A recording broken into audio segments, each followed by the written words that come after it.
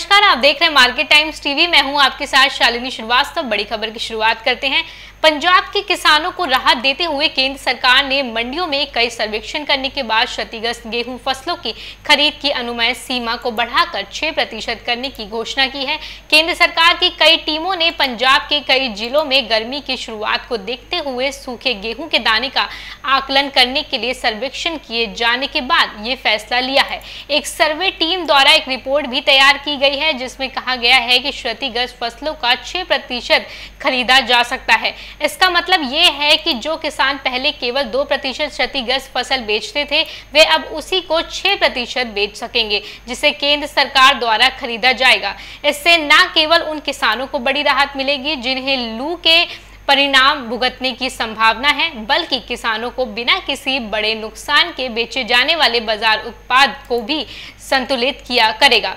केंद्र सरकार द्वारा गठित टीमों ने पंजाब के कई जिलों में लू की शुरुआत को देखते हुए क्षतिग्रस्त गेहूँ के दाने का आकलन करने के लिए व्यापक सर्वेक्षण भी किया। ये मंडियों में क्षतिग्रस्त अवस्था में पड़े कई टन गेहूँ को देखते हुए किसानों के लिए चिंताजनक स्थिति पैदा कर रहा है।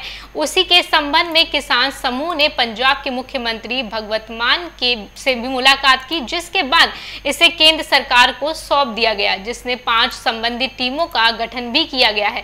पंजाब सरकार ने चालू खरीद सीज़न में हुए नुकसान के लिए दिशा निर्देश पर भी विचार करने के केंद्र के फैसले का स्वागत किया है। पंजाब ने सरकार से बिना किसी मूल्य कटौती के क्षतिग्रस्त फ़सलों के मानदंडों में और छूट देने की अनुमति देने के लिए भी कहा था। पिछले हफ़्ते की शुरुआत में बता दें, मंडियों में अब तक 36 लाख टन गेहूँ का, गेहूँ आ चुका है और राज्य की खरीद एजेंसियों ने पहले ही 33 लाख टन फ़सल की खरीद कर ली है। विशेष रूप से टीम अन्य उत्तर भारतीय राज्यों का भी सर्वेक्षण कर रही है, जहाँ इसी तरह की स्थिति आ गई है। हालाँकि संबंधित राज्यों के लिए एक निर्णय लिए जाना अभी बाकी है। तो बड़ी खबर में अभी बस इतना ही, और बड़ी अपडेट्स के लिए आप बने रहिए मार्केट टाइम्स टीवी के साथ। मुझे दीजिए इजाज़त। नमस्कार।